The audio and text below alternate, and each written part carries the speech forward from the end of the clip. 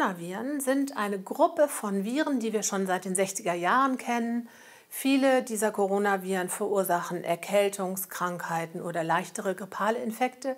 Es gab allerdings in den letzten Jahren auch zwei schwere Epidemien. Die eine hieß SARS, schweres akutes Atemwegssyndrom, und das andere MERS, die wirklich schwere Erkrankungen hervorgerufen haben.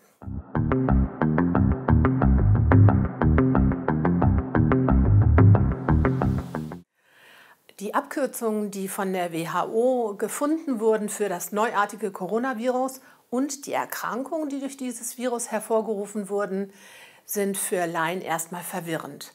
SARS ist ja eine englische Abkürzung für ein schweres, akutes Atemwegssyndrom, eine Erkrankung der Atemwege. Ähm, das jetzige Virus ist SARS Coronavirus 2 genannt, in Anlehnung an dieses Virus, was damals diese SARS-Erkrankung hervorgerufen hat. Das Krankheitsbild an sich heißt Covid, auch das ist eine englische Abkürzung und ist ein Zeichen für die Erkrankung, die durch dieses Coronavirus 2019 hervorgerufen wurde.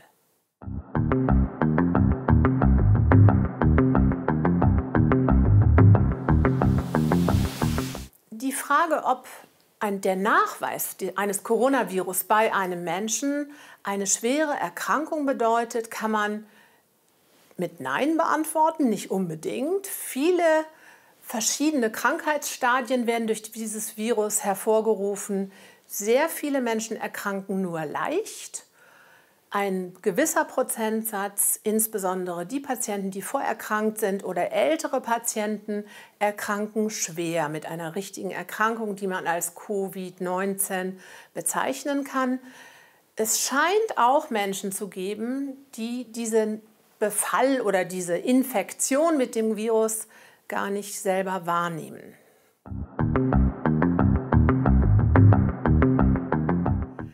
Die Zeit von dem Kontakt mit dem Coronavirus bis zum Ausbruch einer Erkrankung, in welcher Stärke auch immer, wird nach wie vor für die Zeit von 1 bis 14 Tagen angenommen. Im Mittel erkranken die Leute zwischen dem vierten und siebten Tag nach Kontakt mit diesem Erreger, hat man jetzt festgestellt. Die ersten Symptome sind in der Mehrzahl der Fälle Husten und Fieber. Einige Patienten klagen auch über Schnupfen, Husten, einige auch über Durchfälle, aber die Hauptsymptome nach den Erfahrungen, die wir bis jetzt getroffen haben, sind Husten und Fieber.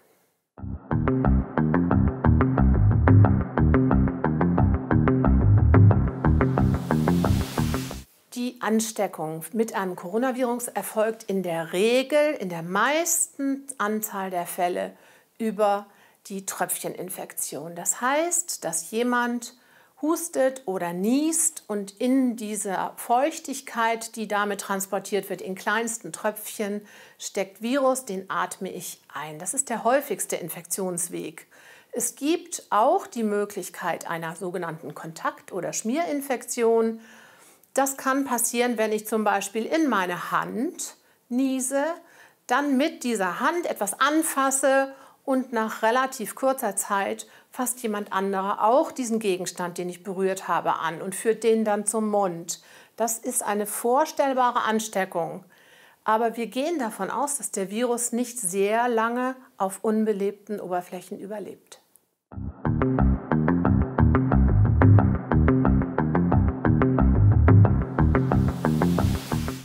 Die Frage ist, kann ich als Mensch wissen, bin ich an Grippe erkrankt oder bin ich an einer Coronavirus-Infektion erkrankt?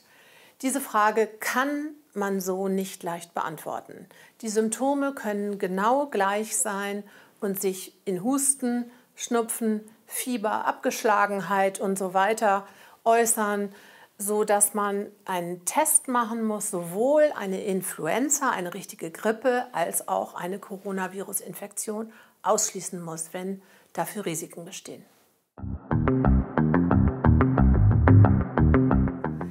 Jemand, der glaubt, sich mit dem neuartigen Coronavirus infiziert zu haben, sollte auf keinen Fall direkt in ein Krankenhaus laufen oder direkt in eine Praxis laufen, sondern zunächst telefonischen Kontakt zu seinem Hausarzt oder außerhalb der Dienstzeiten über die Notrufnummer des KV-Dienstes 116 117 Kontakt aufnehmen, damit ihm dann gesagt wird, wo er sich hinbegeben kann und auch die anlaufende Stelle Bescheid weiß, dass jemand mit einer möglicherweise ansteckenden Erkrankung kommt.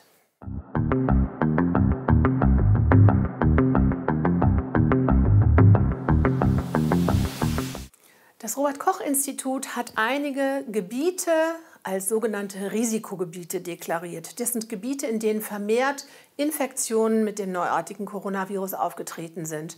Sollten Sie in den letzten 14 Tagen sich in einem solchen Risikogebiet aufgehalten haben, begeben Sie sich bitte freiwillig in die sogenannte Quarantäne. Das heißt, Sie gehen nach Hause und bewegen sich möglichst innerhalb Ihres Hauses ohne vermehrte Sozialkontakte, bitten jemanden für Sie einkaufen zu gehen, damit das Risiko, dass Sie jemanden in der sogenannten Inkubationszeit anstecken, möglichst gering ist. Nehmen Sie mit Ihrem Arbeitgeber Kontakt auf, um mit dem bestimmte Fragen bezüglich Ihres Arbeitsplatzes und Möglichkeiten abzuklären.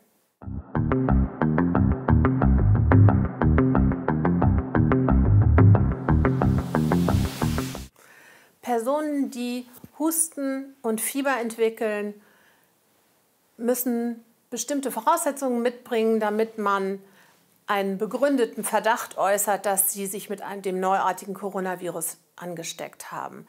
Der eine Weg ist, dass ich in einem Risikogebiet war in den letzten 14 Tagen. Dann habe ich eine größere Chance, dass diese Infektion eine Corona-Infektion ist.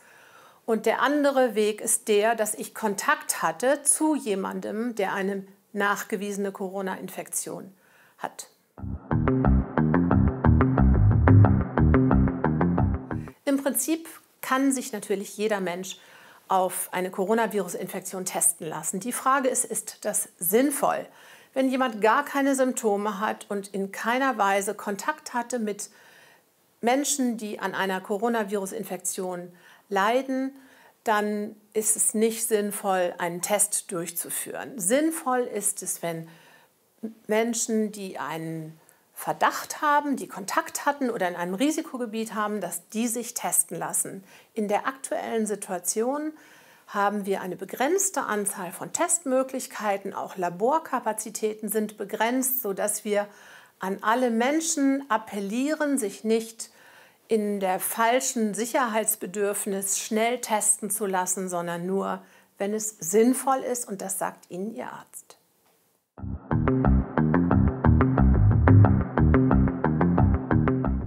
In manchen Fällen wird das Gesundheitsamt oder der Arzt oder auch das Gesundheitsministerium sagen, diese Menschen müssen in Quarantäne. Was bedeutet das eigentlich? In Quarantäne bedeutet, man zieht sich in sein häusliches Umfeld zurück, vermeidet soziale Kontakte, geht nicht nach draußen, unter der Vorstellung, dass man vielleicht jemanden anstecken könnte, der besonders gefährdet ist zum Beispiel.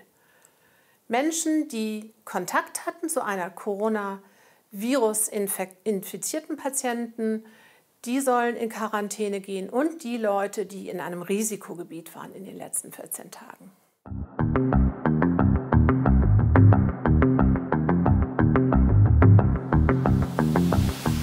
Desinfektionsmaßnahmen im Zusammenhang mit der Covid-Erkrankung sind vor allen Dingen in Einrichtungen des Gesundheitswesens sehr, sehr wichtig. Dort sind wir besonders angehalten, die Verbreitung des Virus auf andere anderweitig erkrankte Patienten zu vermeiden. Im häuslichen Umfeld gehen wir davon aus, dass eine gute Einhaltung der normalen Hygiene mit einer intensiveren Händewaschen und einer guten normalen Reinigung zu Hause vollkommen ausreicht. Es kann natürlich sein, dass man unterwegs ist, wo man nicht die Gelegenheit hat, sich die Hände mit Wasser und Seife zu waschen und dort stattdessen zu einem alkoholischen Händedesinfektionsmittel greift.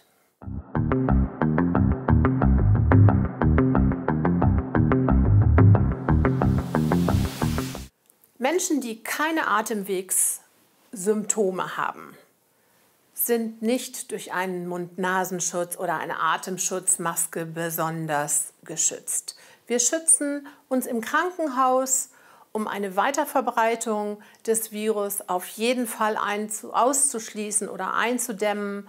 Und wir benutzen auch im Krankenhaus Handschuhe und Desinfektionsmittel. Galt diese Dinge brauchen Sie im täglichen Leben nicht. Im Gegenteil, das Benutzen von Handschuhen zum Beispiel das erleben wir auch im Krankenhaus zum Teil, vermittelt eine falsche Sicherheit. Wenn man immer Handschuhe anhat und immer alles anfasst und sich mit den Handschuhen an die Lippen fasst oder an die Nase, dann bedeutet das auf keinen Fall, dass man geschützt ist, sondern unter Umständen, dass Erreger an dem Material der Handschuhe noch viel leichter kleben bleiben und man das Gefühl hat, man muss sich gar nicht die Hände waschen.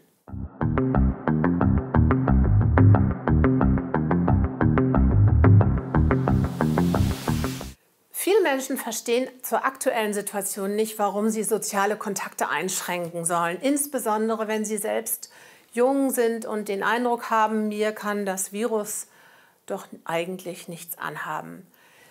Die Situation in Deutschland und vielen anderen Ländern aktuell ist aber so, dass wir uns bemühen, die Anzahl der infizierten Menschen möglichst gering zu halten oder den Anstieg der infizierten Patienten möglichst flach zu halten, damit wir in unseren Gesundheitssystemen sie immer gut versorgen können und nicht überlastet werden. Dafür ist es nötig, dass wir Kontakte eindämmen, auch wenn wir denken, dass das Gegenüber sicherlich nicht erkrankt ist. Es könnte sich in der sogenannten Inkubationszeit befinden und mich anstecken, obwohl ich gar nicht merke, dass der andere krank ist.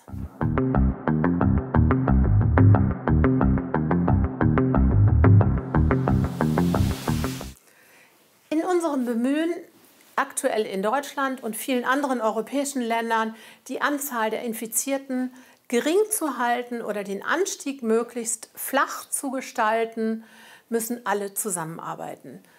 Alle Menschen, alte Menschen, junge Menschen, auch die Menschen, die von sich selber denken oder von denen wir denken, dass sie im Falle einer Erkrankung nur geringe Symptome haben und nicht gefährdet sind, müssen mitarbeiten und eine Solidargemeinschaft bilden, damit wir die Gefahr für alle, insbesondere die, die eine größere Chance haben, einen schweren Erkrankungsverlauf zu erleiden, damit wir auch die besonders schützen.